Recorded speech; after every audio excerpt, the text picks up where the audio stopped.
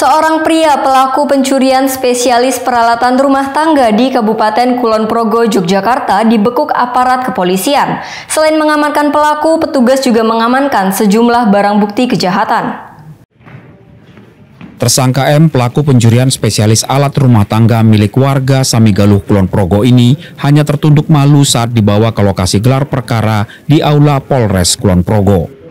Pria residivis dalam kasus yang sama ini beraksi di 10 lokasi di Kulon Progo yang semuanya biasa dilakukan pada siang hari saat rumah kosong ditinggal penghuni keladang. Aksi tersangka M awalnya diketahui dari pencurian yang dialami oleh seorang ibu rumah tangga di Samigaluh. Kejadiannya terjadi pada 29 Maret 2024 lalu, di mana korban mendapati sejumlah barang miliknya hilang dari dalam rumah. Saat itu korban baru kembali dari kebun, sedang rumahnya ditinggal dalam kondisi kosong.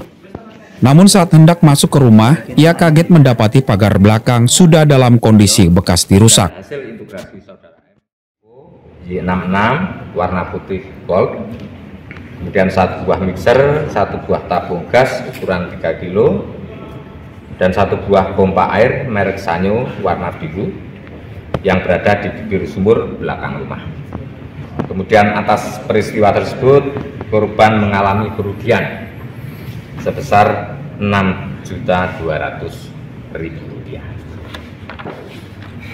Adapun kronologi ungkap sebagai berikut pada hari Rabu tanggal 17 April 2024 sekira pukul 10 waktu Indonesia bagian Barat petugas reskrim Samigaluh Polres Kulon Progo mendapatkan informasi bahwa tersangka M telah diamankan di Polsek Girimulyo.